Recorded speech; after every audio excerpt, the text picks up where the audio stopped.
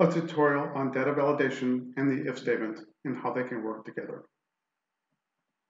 Let's say you have a small fruit storage business and it's called ABC Fruit Storage. We'd like to calculate the storage fees for the high season and the low season. In the fruit storage business, we only have two seasons, high and low. The numbers associated with the high season is, and the numbers associated with the low season is. Knowing this, we can calculate our storage fees. The storage fees is calculated with a simple formula. Storage fees equals kilos, the amount of food that we have on hand, times the seasonal rate, high or low. Here we have the fruits in kilos, and we'll calculate the storage fees using the if statement.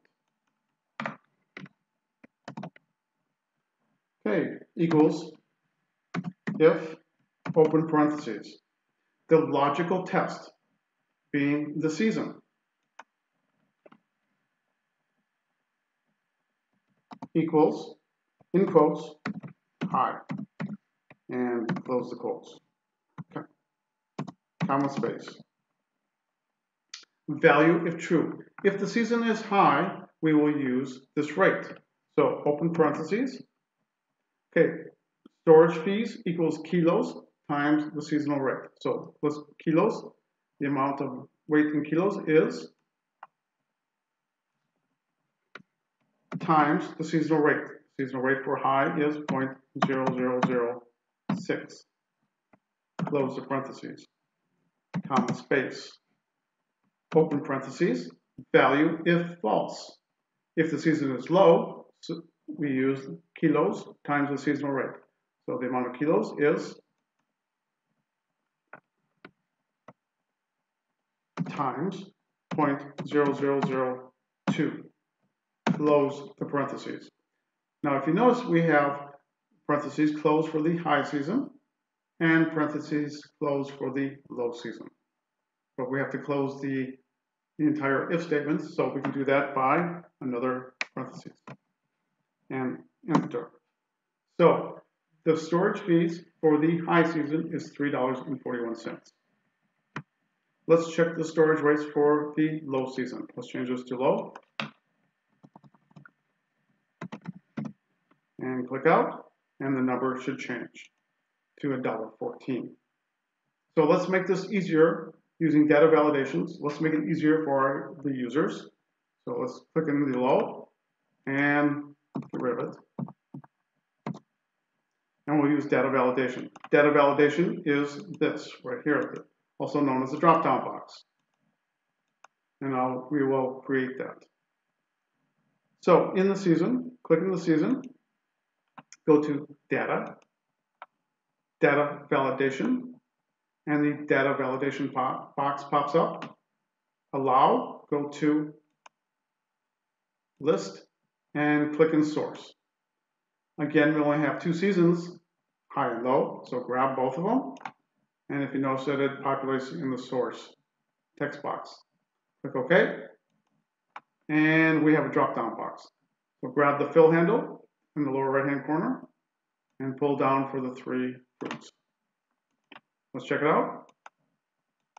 High and low, and we'll put high. And if you notice that the number changes for the high and the low season. Okay, let's do a review. So let's go back to the formula, and I'll zoom in. Equals if the logical test being the season equals, in quotes, high in the quotes. If the season is high, value of true, if the season is high, open parentheses.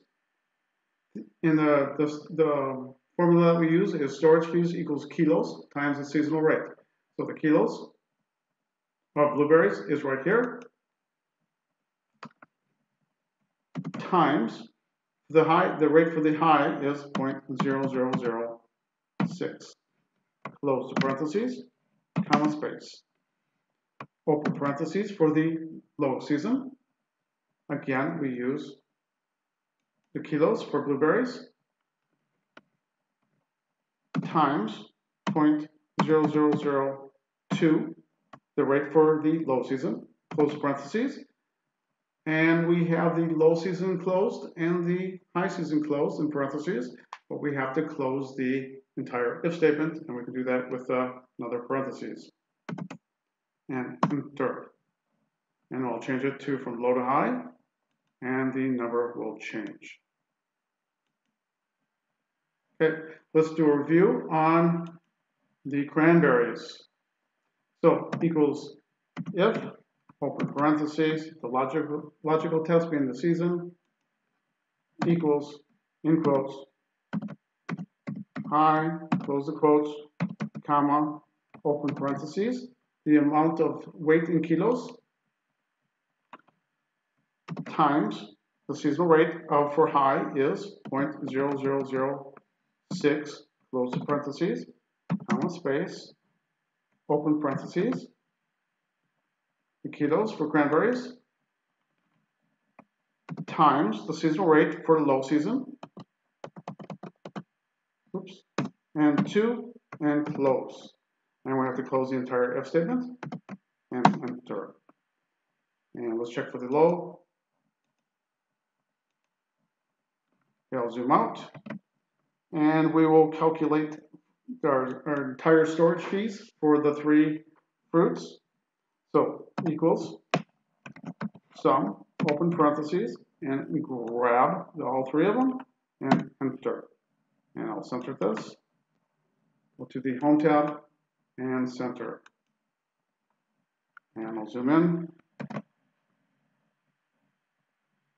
And if I change this to high, the total changes. And if I change the amount of weight,